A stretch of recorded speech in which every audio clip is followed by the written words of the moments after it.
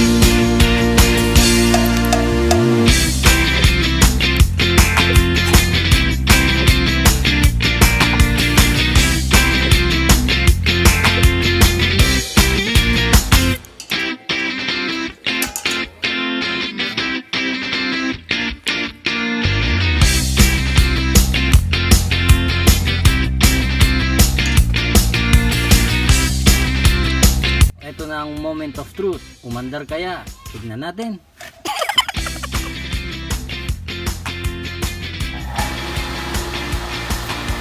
Ayan na siya ngayon. Tahimik na tahimik na ang andar. Okay. Nakatipid. So, kahit pala hindi ka tubero, konting kalikot lang, konting tiyaga, makakagawa.